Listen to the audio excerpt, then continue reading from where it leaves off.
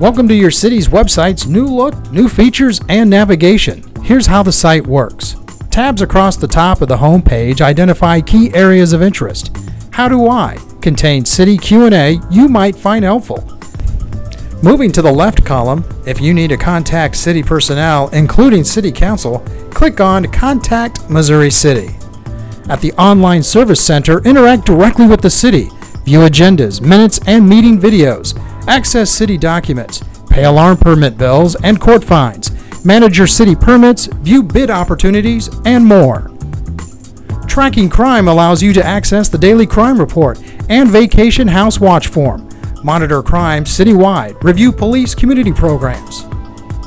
If you know someone looking for a job, you may want to check out opportunities with Missouri City by clicking Employment.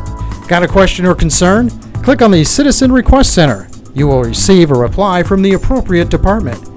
Here's a handy link to the Quail Valley Golf Course website. You can book a tee time here to play.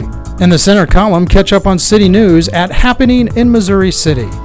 Check out Hot Topics, the former Topics in the Loop, now called Growth and Development.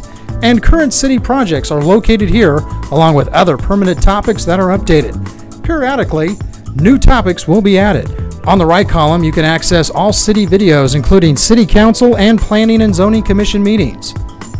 This link takes you to the Missouri City Ready website, where you can sign up for emergency email alerts and view preparedness information. At My City, you can enter your Missouri City address to learn about city facilities, programs, services, and other information that serve you and your family. And don't forget about the social media opportunities at the bottom of the page. Again, welcome to your city website. We hope you'll find the navigation simpler and the information more accessible.